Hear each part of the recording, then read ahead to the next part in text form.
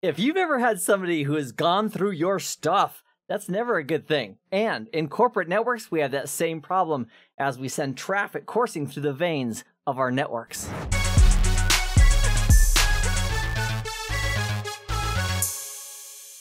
So let me show you what I'm talking about, and then I'll show you a couple solutions of what we can do to protect our packets as they're crossing networks so that people cannot get into our stuff. So let's imagine this network right here, and let's imagine that you and I are connected into R2, this router, and we're managing it. Maybe we're creating a new user account or changing a password or doing something else regarding the configuration of that device. And one way of doing that is we could enable web services on the router with IP HTTP server and specify the authentication, and we could log in and manage the router right from its basic built-in GUI. So here we are with the web browser. If we go to monitor and then we go to configure, let's create a new user account.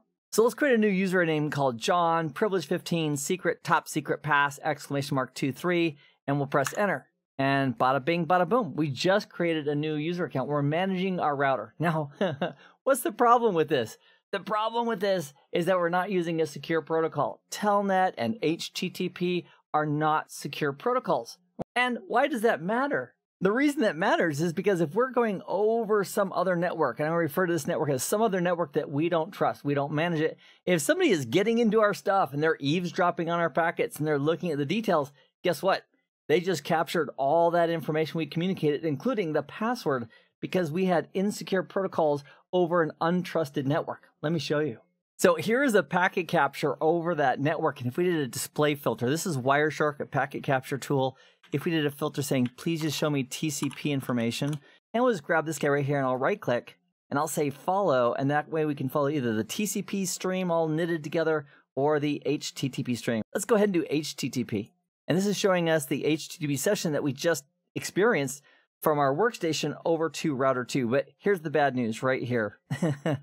In plain text, it's showing us right here username John, privilege 15, secret, top secret pass, exclamation mark, 2, 3, and then a carriage return.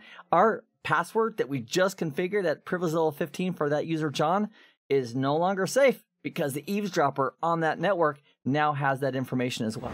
So what can we do to solve a problem like that? Well, there's actually a few solutions. Number one, use secure protocols like HTTPS instead of HTTP. Or if we're doing a remote terminal session, use SSH instead of Telnet. Those are great steps because those protocols encrypt the data. But in addition to that, if we do need to use plain text protocols like Telnet or HTTP and we want to protect the traffic, we can leverage and implement virtual private networks. And one way of doing that is with a suite of protocols called IPsec. And the goal of IPsec is to protect individual IP packets, wrap them up, encrypt them, and keep them safe as they cross networks, including untrusted networks like the internet.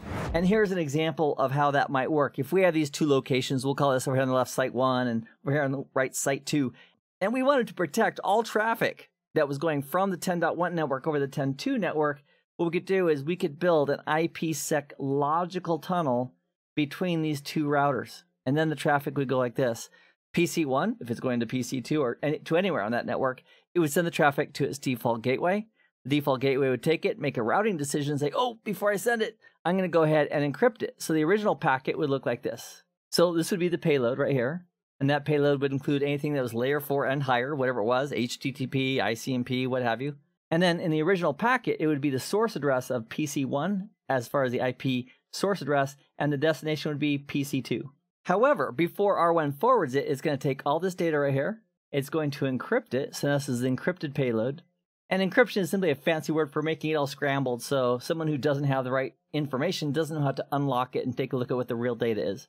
So this would all be the encrypted payload, and then it would add a little teeny header for IPsec. And then for the outside header, it would have the source address of R1 and the destination address of R2.